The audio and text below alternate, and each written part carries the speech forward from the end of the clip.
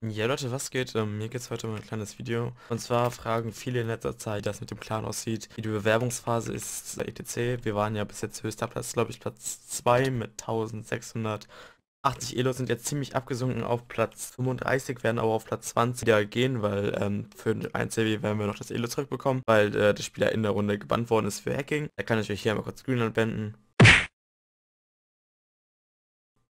Ja, dann werden wir dann auf wieder Platz 20 sein, sind auf jeden Fall ziemlich weit abgesunken, was wir natürlich auch wieder reinholen müssen. Das Ding ist jetzt nur, ich werde am 17. für eine Woche nicht da sein. Entsprechend oder allgemein werden noch zwei weitere Spammer für den Clan gesucht. Hinten ist ein Bewerbungslink drin, äh, dort könnt ihr euch bewerben.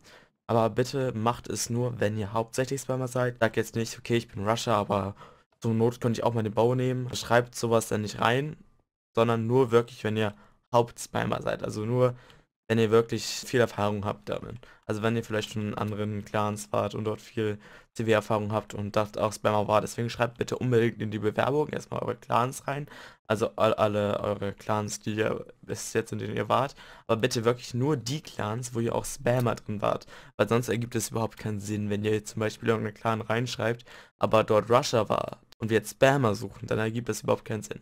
Deswegen schreibt bitte wirklich in die Bewerbung ausdrücklich rein, in welchen Clans ihr wart und nur wenn ihr dort Spammer oder Allrounder wart. Gerade werden echt nur Spammer gesucht und wie gesagt, Leute, die Rusher sind, ähm, bitte sagt nicht, ja, ich kann jetzt notfalls, könnte ich auch spammen, bewerbe ich mich mal. Bitte macht das nicht. Bewerbt euch wirklich nur, wenn ihr Hauptspammer seid. Das ist eigentlich das, was ich jetzt mal so äh, ansprechen wollte. Das haben wir viel, ziemlich viele wegen dieser Bewerbungsphase gefragt. Es wird jetzt ordentlich für Spammer ausgelegt. Das bleibt auch so. Das war eigentlich das, was ich machen wollte und dann äh, kann ich mich verabschieden. Und das sollte jetzt eigentlich nur ein kleines kurzes Video darüber sein oder jetzt auch schon länger als zwei Minuten, dass jetzt die Bewerbungsphase in Resto wieder offen ist, jedoch nur für zwei Spammer.